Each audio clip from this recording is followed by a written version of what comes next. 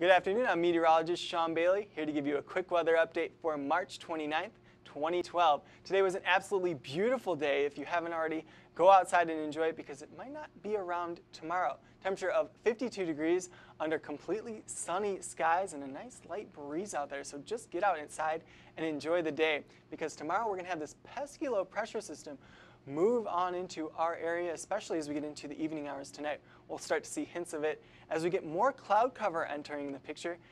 And we'll see some rain showers also possible with that as we get into midnight and the overnight hours as well. Temperature wise though, we start off the day with 39 degrees and we'll warm up to around the mid 50s for a high on Thursday. But as we get into the overnight hours, that cloud cover will start to set in. We won't cool down too much, but we also won't warm up too much to a temperature of 39 as well.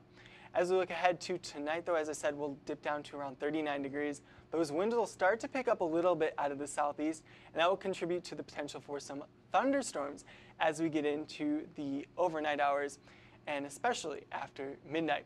As for Friday, though, we'll see some of those showers lingering on into the morning hours with temperature of 58 degrees as you wake up. However, chapel break should be a break from the rain and actually will be our high temperature of around 59 degrees. By the time we get into the afternoon hours though, the rain round two comes back and we could see the potential for some thunderstorms as well there.